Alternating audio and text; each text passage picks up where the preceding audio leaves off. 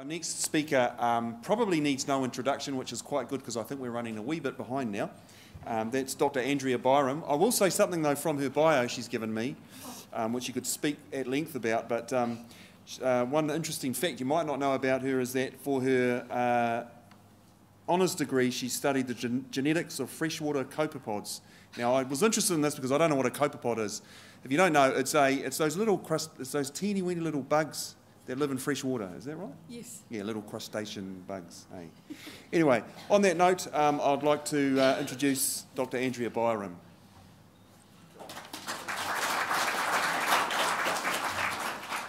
Kia ora koutou. Um, thanks very much, Melanie and Amanda, for inviting me to come and speak in this session.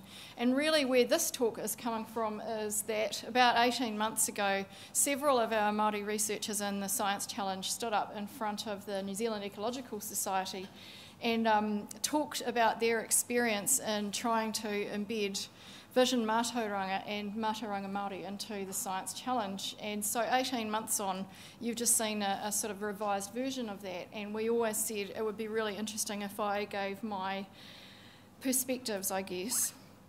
Um, so these, this is very much a personal viewpoint, I guess. Um, so a few weeks ago uh, in Christchurch, I marched for science, and that's actually one of the few times in my life that I've ever got out on the streets in protest.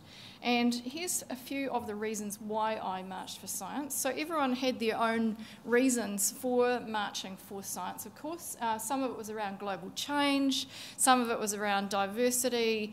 For me, it was about evidence based policy, it was about diversity in science, it was about science as being a part of society and not separate from it. It was a belief that science makes a difference in our lives and that it was kind of an anti Trump protest, if I'm honest with myself. And it was also very much for me about in, um, bringing in a variety of worldviews into the science that we do.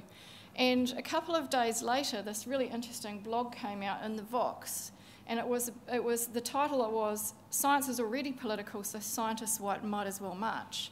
And it made for very interesting reading because it spoke about this thing called science theory, which is what we know of as sort of um, hypothesis driven testing and experimentation, versus science practice, which is the institution's norms and people doing science. And I realised that actually this is what I marched for and not the top one. So I didn't go in there saying, with a big sign saying, hypothesis driven research. I went in there because I believed in all those other things. And that for me really was um, the turning point. And when Melanie and Amanda told me they were going to mention the March for Science, I thought, ah, that's how maybe I can connect with this audience. So for me, bringing in Vision Mātauranga and Mātauranga Māori into our science is really about a slightly wider context. And science, doing science in a much wider context than perhaps we've done before. So for me, uh, my research background, just like Amanda described, is actually pretty shameful. Uh, we never really engaged very much with Māori communities. We tried, but um, time was a factor and funding was always a factor. And then, as just exactly as Amanda said, we didn't always see how our research could be relevant, even though we're working on pest animals, and these are major threats to New Zealand's native flora and fauna. So guess what? It was highly relevant, and we could have done better. And then a few years down the track, and um, I stood in front of a mock panel of interviewers to do this job as the director of the Science Challenge, and one of them was Phil Lyver. And Phil said to me, Right, describe to me what's in the Vision Mātauranga policy. And I went, and so that was really the starting point for me to go, okay, I really need to learn about this and figure out how we're actually going to give effect to this policy in the Science Challenge if I'm going to be the director. And of course, when I read it, the four themes, and we've done a lot of work and a lot of water under the bridge in the challenge now, but these four themes, of course, resonate really well with the four pillars of well-being that are essentially the um, four pillars and or four desired outcomes in our science challenge anyway. And then, in addition to that, if you delve down into the detail of the VM policy, it's very much about seeking transformational change, even if it doesn't quite say it exactly like that. So, designed to inspire researchers, all researchers, to find innovative solutions and encouraging the innovation potential of all of those involved, not just Māori.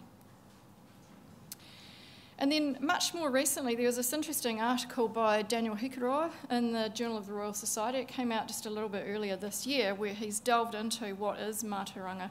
And I should say at this point that there's lots and lots of academic um, and scholarly pursuit of this topic, and I'm not going to go into that, nor do I claim to be an expert in any way, shape, or form.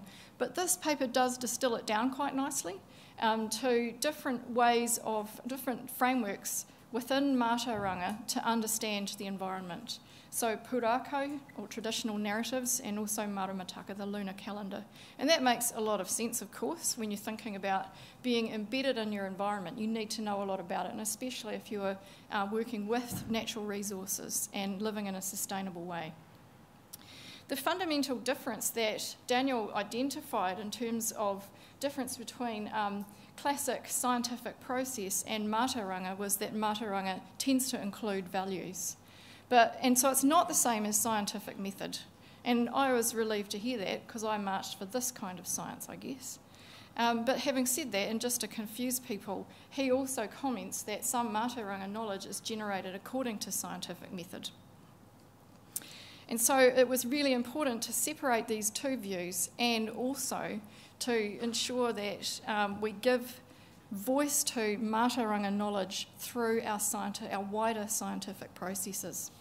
And in talking to a few different people, in a way, this is akin to natural history. Now, I'm sure that by saying that, I'm actually going to offend some people, and I don't intend to. What I mean is that this fundamental understanding of, of our environment and living in it and how we live is actually very much akin to, it's fundamental to how we do our science. It would have to be a starting point almost. So, where's the evidence that including Mātauranga in our research would enhance our ability to manage our environment? Um, this, again, is an area of academic, um, active academic pursuit, and I'm going to give you three examples one past, one current, and one future, broadly related to this science challenge. And so the first one is this is actually a paper by uh, uh, Gail Tipa, who's on our um, Māori, who wrote about bringing the past into the future and using historic data to inform contemporary freshwater management. She did this with some colleagues in Niwa. And to cut a very long story short, what they did is they went through back through a whole heap of interesting stuff, like historical documents, photographs, um, whānau manuscripts, stuff that were in people's garages, you name it, cultural maps, a whole heap of things, some very interesting stuff. And they actually pieced together what the environment looked like in the Waitaki Valley uh, in, in um, Otago, or North Canterbury and Otago. And I thought this was quite interesting because, you know, um, I guess a biophysical approach to this would be to do paleoecology or something equivalent. But this is a different way of piecing together the kind of information that you might need. And what they ended up doing was actually being able to manage natural resources in the Waitaki region collectively with Department of Conservation, Meridian Energy, a whole bunch of farmers, um, by bringing that extra knowledge into that resource management framework. And it's quite a successful example. And so each of those place names that they've got there on that map actually tells us a lot about traditional resources. So that's just the first example, a bit of a historic look back. Our most recent example is a paper that a bunch of us published just last year in this challenge where we looked at how do we restore New Zealand's biological heritage by 2050. Um, so that's published in Ecological Management and Restoration. And basically, what we did, and especially I'd like to thank Phil Lyver for this, was building a Te Ao Māori perspective into biodiversity and land and water restoration. Now, we're not the first people to write about this by any stretch of the imagination, but certainly this is, was the first time that we'd actually done this under a science challenge umbrella and really started to think about how do we actually build in these viewpoints and, and um, processes into the challenge and into science. And then finally, I also want to stick with the Phil Lyver theme, and I know that Phil and Puke are coming up shortly, um, around thinking about customary approaches and practices to building both cultural and ecological resilience in ecosystems. And the reason I mentioned this particular project is I asked Phil a question um, quite a while ago now where I said, you know, we do know that lots of humans around the world have actually trashed natural resources, and in some instances, Indigenous people are no exception. And I thought, I mean, that's as an aside, being able to ask confronting questions in this challenge has been real godsend for me, and I, I'm really appreciative of that. But Phil gave me a very interesting answer. He said, This project is not about upholding Indigenous resource management as the gold standard and everything else not working. He said, This is about a contemporary context. It's about bringing in a couple or three or more different world views into how we manage our resources and moving forward together. And I'm sure you're probably going to hear a little bit more about that over the next little while. And I found that really useful, and I really hope that that's the kind of thing that will be transformational in our science challenge. So, my big crazy idea is actually not very crazy at all. My suggestion to a number of the non Māori researchers in the room is please engage with us. Please sit back and read some of these things. The things I've put on the screen there are just the things I've talked about today. But even I, delving into doing some background reading for this talk, realised there's a huge amount of scholarly stuff out there that lots of people are far more experienced than I am and have worked on for a long time. So please have a read of some of these interesting things. Read the VM policy and also talk to our colleagues.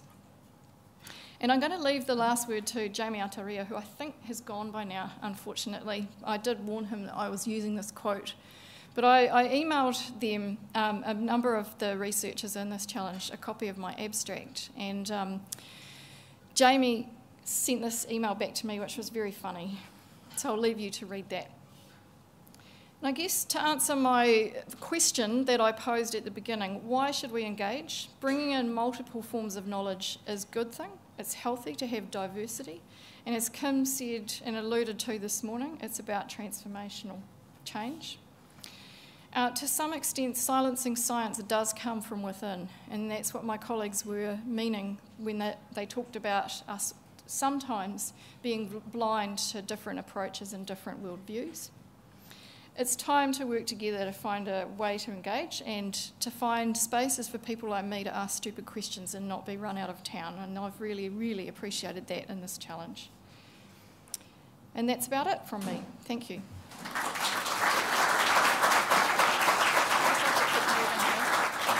One, you want to? Kia ora, Andrea. Um, I, I wonder, we've probably got time for maybe just one question. Yes, down the front there. Kia ora.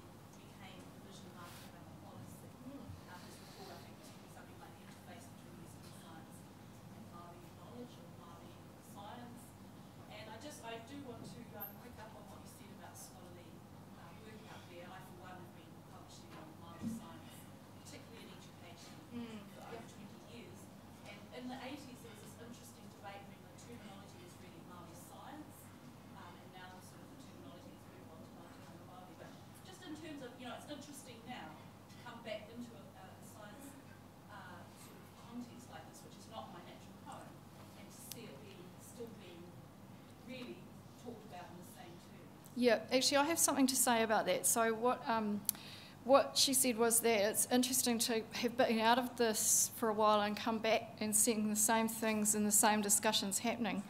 I guess probably that if I'd had one parting shot, it would have been that the Vision Mātauranga policy is great, but I think we're still struggling with implementation. I know my colleagues agree with that as well. So we've actually talked a lot about this in the Science Challenge. Is there still feels like a big gulf and there shouldn't be. And so, how do we overcome that? And I don't know all the answers, but I know we're, we're working our way actively towards trying to get there. Kia ora, Andrea. Show your appreciation, please. Thank you. Can I just say, we are also we are very lucky to have Andrea um, driving the challenge too. Um, I have to say I've only been in the role a couple of months, but I've been really encouraged and um, you know, uh, yeah, encouraged by the by the positivity and enthusiasm that people like Andrea show. So, kia ora, Andrea.